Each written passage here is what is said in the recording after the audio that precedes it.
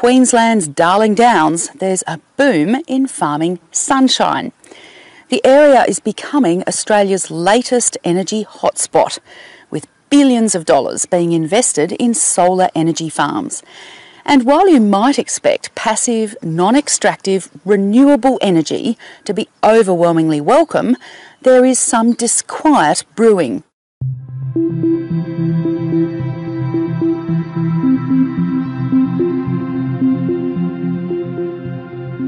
When this 250 hectare solar farm near Dalby, 200 kilometres west of Brisbane, is finished in spring, it will generate enough electricity to power 30,000 homes. The cost? An extraordinary $200 million. Footing the bill is Australian energy infrastructure company APA. But why put this huge 430,000 panel operation here? There's plenty of places in Australia which does have good solar resource. Um, there are plenty of places which have good transmission lines as well, and there's lots of places which have good support from the local community. Darling Downs region has got all three of those, so that's a that's a three big ticks in its favour. Origin Energy owns the gas-fired power station next door and will buy all the electricity until 2030. When the workforce of over 100 finishes here, it will move on to an even larger project with up to 800,000 panels. We're looking at the Bilby solar farm, which is just nearby, and if we get all the approvals that we want for that and proceed on that, that'll be around about 200 to 300 million dollars as well. This is just one of 11 solar farms recently approved by the Western Downs Regional Council add a 450 megawatt wind farm, and the total projected investment in renewable energy makes for one very happy mayor, cotton farmer Paul McVeigh. Six billion, yeah, and I like to put the B in there. Six billion dollars worth of uh, development potentially coming our way, and I think we'll see a lot of that. And uh, and as I say, we've had got 1.2 billion of that under construction now. And that is the exciting thing, that this isn't just about approvals, this is about action to deliver renewable energies to, to, to this region. Do you think it's peaked, or do you think that you're going to have more um, applications from other companies?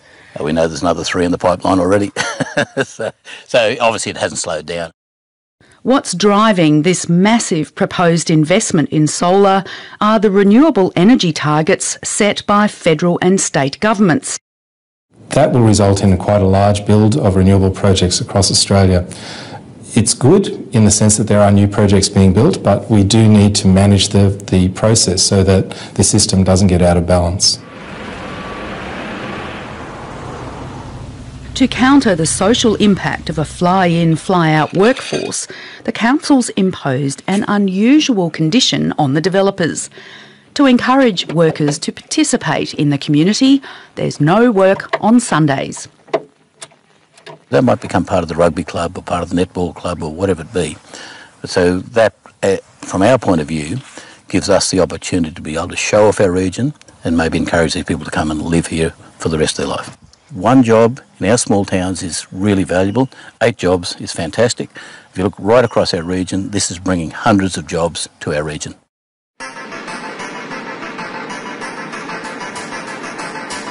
But locals have heard this before. The coal seam gas industry generated thousands of jobs. New hotels and housing developments followed. Local businesses grew, and high vis workers and their pay packets reinvigorated the economy. But the economic sugar hit didn't last. CSG construction activity tailed off earlier and faster than expected causing business closures, vacant rentals, and empty motel rooms. But the CSG industry left behind a valuable legacy power infrastructure. It's a highway for electricity.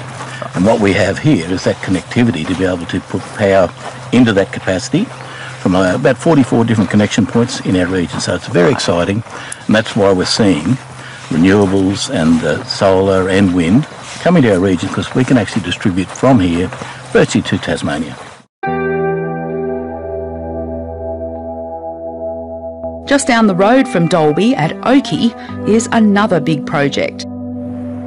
Global energy company Canadian Solar has finished Oakey 1, a 64 hectare solar farm, and work has begun on Oakey 2, which will be three times the size. It's a $100 million spend, with 100 staff here until the end of the year. There's a lease with a with the farmer, and uh, it's a 25-year lease in principle. And after that, the, the land can be returned. Can he run animals on the land in between the panels or not?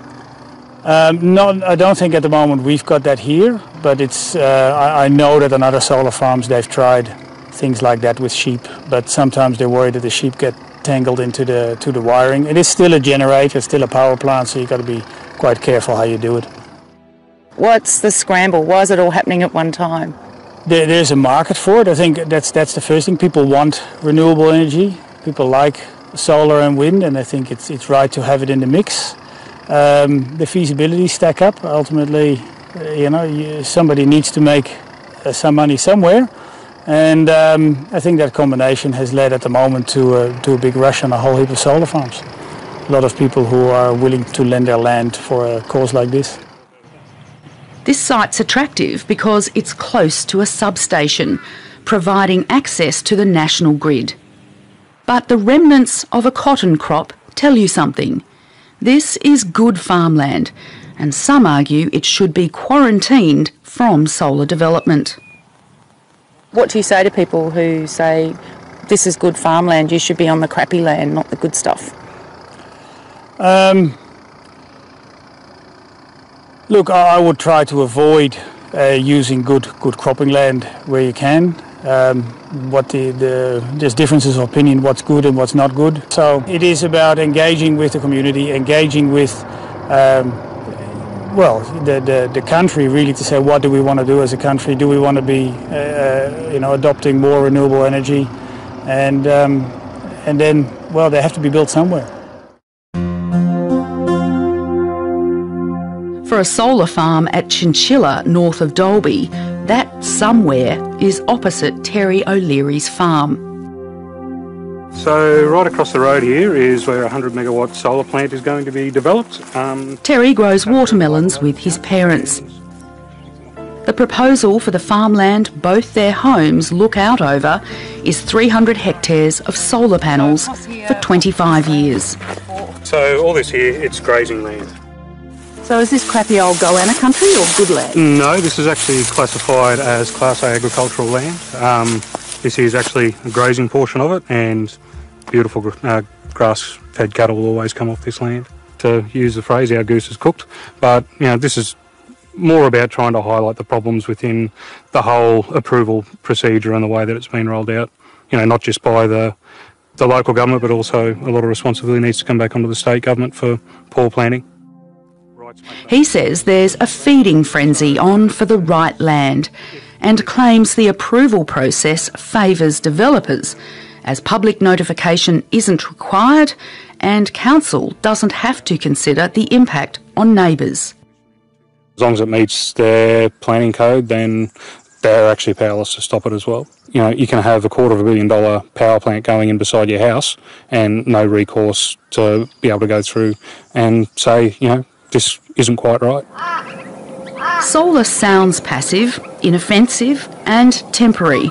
But Terry says living next to an industrial power plant will devalue their land and create what's called a heat island effect. When we hit, you know, our days at the mid 40s, we have a westerly wind coming through. The advice from a consultant that we've been given is that we can expect a two to six degree microclimatic increase in our temperatures. Watermelons. They're a desert plant, but I don't think they can put up with that, that much of a rise in temperature. If the O'Learys were in New South Wales, the project would be out of council's hands and subject to more scrutiny. Are some people saying that you're overreacting? A lot of people are saying I'm overreacting until, you know, they come out and they see and they have a look and they realise, right, oh, if this was me, what would the impacts be? Most change their tune. Can you imagine moving? I just got goosebumps. Not something I, I really want to do. The land earmarked for the solar farm is owned by Ian and Sharon Beard. They grow watermelons and run cattle and sheep. The high voltage transmission lines on their property put them on the solar company's radar. When did you realise that you had land that solar companies would want? Probably after the third or fourth phone call, which was quite surprising because, you know, the first time it happened, I just sort of treated them with no thank you and hung up sort of thing. So after a while, we, we just constantly got these phone calls and we started to realise that somebody was chasing us for, for this project. Did they explain why they wanted your land? Yeah, they wanted the land because uh, they wanted an area that was big enough to have the project. They wanted access to the high transmission power lines, and they wanted, you know, close enough to town. So this is where it is, Pip, from those power lines there through to those power lines there and all north. Ian says it's a good deal. Monthly checks for 30 years with a 30 year option to renew, and they keep their good watermelon land. He disputes it's top quality grazing country. He calls it handy country, and he'll be able to run sheep on it after the panels are in if he wants to. What made you say yes? Um, age and stage. I, am pretty confident that 30 years ago I would have said no. Um, with a 30 to 60 year project, this is we're probably doing this more for our children than ourselves. Um, we believe that it was a good thing. It was um, a good thing for chinchilla. It's going to employ three or four people permanently. The Beards have been stung by 18 months of opposition from the O'Learys, one of their several neighbours. You are the first media that's even taken the time to to ask our, our opinion or our side, which we're just staggered at the, the negative media generated. And nobody's even bothered to check our story or ask us if it's true. Basically, you can just state anything you like. And do you think that's going to turn other farmers off? No. Interestingly, all the phone calls that I've had from people that have been approached, uh, I've had neighbours that have said, "Can I get the contact? Maybe they want to extend into our place." No, no, there's there's no problems with there's plenty of landholders that'll be willing to be part of it. Uh, most people will drive past them and won't even know they're there. We ask the people coming in that want to develop in our region to make sure they're good neighbours. So they go and communicate with the region, with their, their neighbours, because they're going to be neighbours for the 25, 30 years. So it's very important that uh, they build that relation right from the start and then they go forward with development. Yeah, we're going to go see him. Mayor McVeigh's confident community opposition to solar farms is isolated and that there won't be a repeat of the toxic relations which occurred between farmers and coal seam gas companies. Lock the gate! It's not as intrusive an industry and uh, if you look at the solar industry and in, in 30 years' time you can take all that infrastructure away and go back to whatever you're doing before. We've seen this industry, on their own capacity, move their boundaries or their alignments to, to appease a neighbour. And we've seen some of those boundaries move from 20 metres to 450 metres. And I think that's exciting when you negotiate that in a, in a very um, harmonious way. This year we've got the trifecta, good yields, good price, and good quality. So it's been absolutely fantastic. This is Mayor McVeigh's land. He says there'll never be panels here as council would say no, and this is why. This, this is, is, what's really special yeah. and valuable. This, this, sort of soil, uh, yeah, we would never see a development like a renewable energy on this uh, solar farm on this sort of land. That'd make you, a farmer cry, wouldn't it? It would. It would. It'd make me cry. So this is beautiful, self-cracking you know, black soil. And one of the great things about this soil, it absorbs a heap of moisture, but it has the capacity to give it back up, and it's like a sponge. Our policy is to encourage the development of, um, of our solar farms on poorer quality agricultural land. So no solar farms on prime ag land?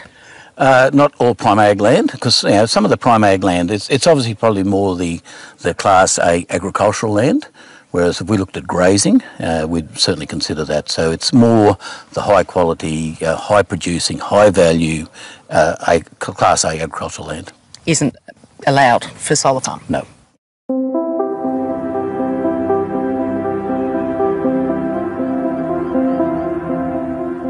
At the southern end of the Downs in Warwick, a solar farm proposal on good agricultural land put council under a lot of community pressure.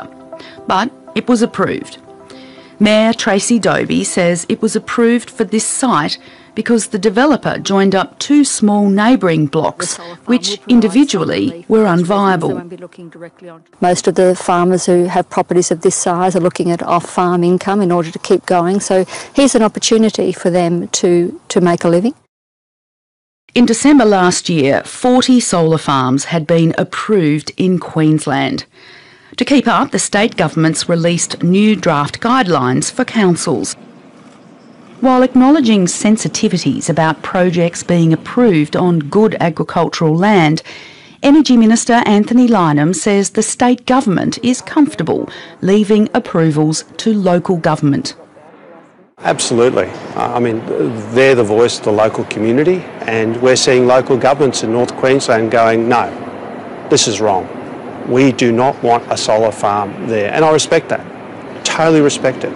And we see other local governments, southern areas of Queensland, say, no, we want a solar farm there despite the objections of the community. That's a matter for them. So there's strength in both decisions. Um, I think, um, you know, rigorous local government planning decisions should be able to find places for solar farms that have a nice balance. And people have a lot of power when it comes to local government. I mean, complaints to local government, complaints through to the Planning Environment Court, which these guidelines will help people with that journey. But also, ultimately, there's the ballot box. And the State Planning Minister does have step in powers. And if he considers it appropriate, uh, he can utilise those powers. Opponents say if the guidelines aren't enforceable, what's the point? When they released their renewable energy target of 50% by 2030, they had compulsory guidelines surrounding hydro and wind, but absolutely nothing in regards to solar. They're in the draft stages at the moment of a solar planning guideline, but it is just that, a voluntary guideline, not a compulsory code of conduct. The solar boom isn't confined to Queensland state government renewable energy targets and federal government subsidies have made investment very attractive. Councils around the country are discovering, though, that solar farms don't always go down well. Just like on the Darling Downs, there's not 100% support, whether it's the loss of good agricultural land, neighbours losing views, or orchardists worried about heat islands affecting their crop. In Victoria, Goulburn Valley farmers are worried about four proposed solar farms. It's the same in New South Wales, where there are applications in around Gunnedah and Narrabri. And in Emerald in Queensland, Mayor Kerry Hayes has said never again will a solar farm be allowed on prime irrigation land. But back in Dalby, which suffered when CSG activity fell away sharply, the renewables boom has largely been welcomed. We've got growth in all our towns, and uh, I think at the moment, I think uh, one of the real estates in Dalby has only got two houses left to rent. Toowoomba, which sits between Dalby and Warwick, hasn't missed out. A solar farm planned for Bulli Creek won't just be the biggest in Queensland, it will be the biggest in the world. It will take up to 10 years to build and cost a billion dollars. While some are sceptical the massive project will get up, the company behind it has signed long term leases over three neighbouring farms used for cattle grazing and cropping. While nothing's happened yet, work has begun on this 264 megawatt project outside Toowoomba. It's owned and will be operated by Chinese company Risen Energy. But is it in the right place? This 250 hectare site is perfect for a solar farm. It's flat and it sits right next to a substation. Neighbours are unlikely to be a problem. It's hard to see any. What could be an issue though is the quality of the land. This is anything but marginal. It's good cropping country. I guess that we have to be a little cautious of the type of land we put it on. But in saying that, uh, the land is restorable. It's not going to be destroyed uh, in, in any mining effort or anything like that. and in 20 or 30 or 40 years' time, that land will be back to uh, full production. For the towns on the Downs, solar activity has been an unexpected economic godsend. If you'd asked me about this amazing stuff that's happening in power generation, I would have said it was impossible. But it's all possible. This is a great place to be and it's a great time to be here. Councils insist they've learned from the downside of the gas boom and are working to capture all the positives renewables offer jobs, busy towns, and strong economies. This time, though, communities want a long, slow burn, not a boom and bust. Just talking to a person the other day, and they just said, you know, hating solar's like hating puppies, and I think that's a pretty good way of summing it up.